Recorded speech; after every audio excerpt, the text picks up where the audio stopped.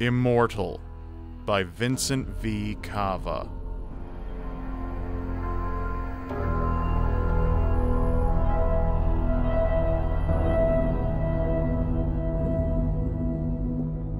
What you seek is just beyond this door, young man.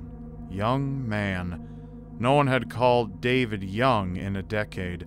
Those were words that harkened back to a simpler time for him, before his obsession with immortality began to consume his life. Before he had wasted his physical prime locked away in his den, poring through archaic texts and studying ancient hymns. Before he devoted his life to investigating the validity of age old legends from bygone cultures around the world. From the Philosopher's Stone to the Fountain of Youth, David had researched tales of eternal life stemming out of every corner of the globe. He had even focused his efforts on more obscure, lesser known lore, like the Owanu frog of Ghana's Sisala tribe and the disturbing story out of Slun, Croatia, that had come to be known regionally as the Night of the Star Child. It wasn't until he reached his mid 40s that he was able to piece together a trail of evidence that gave his quest direction. He had begun to recognize patterns throughout his studies of history, tiny consistencies buried in long forgotten writings, reoccurring symbols carved into time worn relics, peculiar regularities that had no right turning up in the places and times that they did and after more than two decades, all of his findings had led him to one place a lone monastery sitting atop an icy mountain in eastern Tibet. David had braved the conditions in order to speak to the wise, holy men he believed held the secret he had spent most of his adult life searching for. But when he arrived, he found the temple mostly empty, save for one old monk with tired eyes. Pangs of disappointment surged inside the gut of the frustrated traveler when he first laid eyes on the elderly hermit. After all, he had come so far and been so sure that the monastery housed the key to his deepest desire, but the deep age lines in the old monk's face told him a different story. It told the story of muscle atrophy, the story of cognizance withering away, of bones becoming brittle. The old monk's face told the story of aging, the story of impending, unstoppable death. With a pair of wrinkled, weathered hands, the hermit seized David by the arm and led him inside, away from the cold. The entrance hall of the temple was barren. A row of torches lined the interior's gray stone walls, providing only just enough light to illuminate the path ahead of them. The old monk, still clutching tight to his new guest's arm, began to hobble down the dim corridor. Together, the two navigated through the darkness in silence until they reached a winding staircase plunging downward into the monastery's shadowy depths. With his free hand, the elderly man removed the last torch off the wall and gestured towards the stairway. What exactly is this place? David had asked the holy man as they began their descent. But the old monk said nothing. Instead, he directed his gaze ahead, his tired eyes focusing on nothing but the twisting steps in front of him. David felt alone as they snaked their way into the abyss like a tiny rock floating by itself in the vacuum of empty space, millions of miles removed from the closest celestial body. The pangs of disappointment he had been feeling just minutes earlier had begun to mutate into something else entirely. Paranoia, angst, and dread were now running rampant inside of his head, weaving themselves into an indescribable terror. Just when he thought the black void he had found himself in would drive him mad, a golden radiance caught David's eye.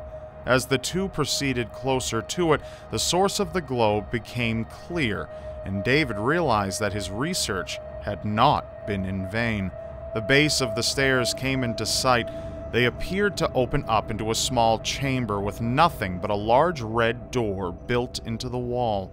Beautiful, ornate symbols were inscribed into the face of it Egyptian hieroglyphics, Sumerian designs, and a variety of other ancient multicultural characters lined the perimeter of the impressive structure. By the time they reached the bottom step, the old monk's torch was no longer necessary. A brilliant light was seeping out of every crack in the door, flooding the chamber in a golden hue.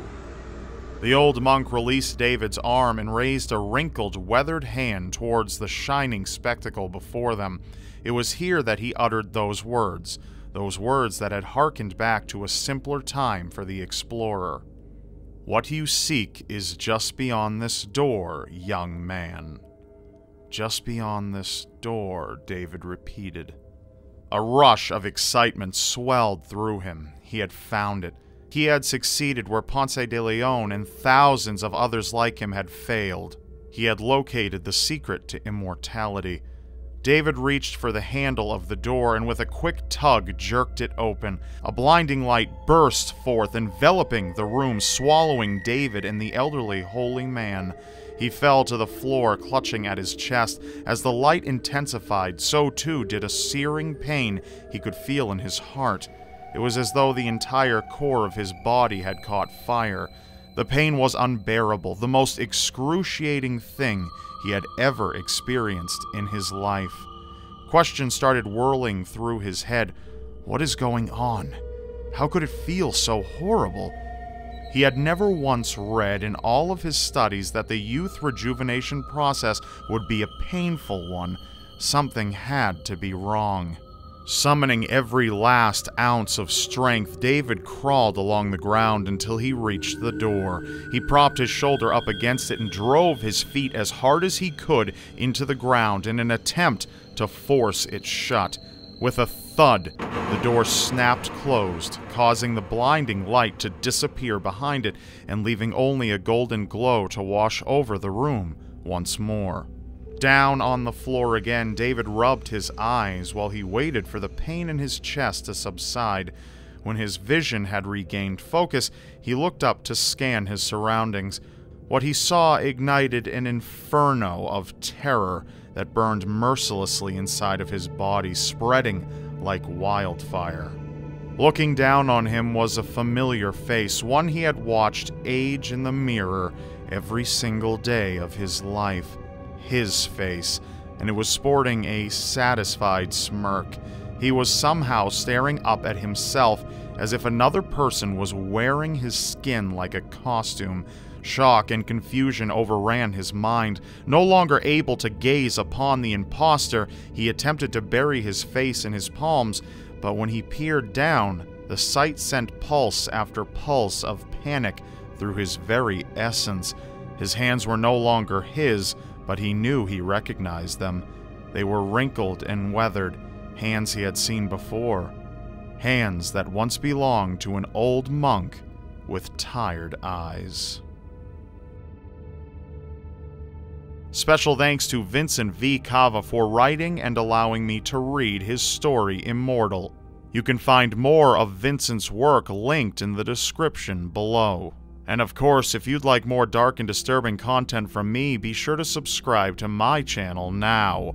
Also, be sure not to miss my last episode of Anatomy of Murder, where we discuss the lobster boy, Grady Stiles. You can either press on screen now to watch it, or you can go down into the description below, and there's a link down there for you. And I will see you next Monday.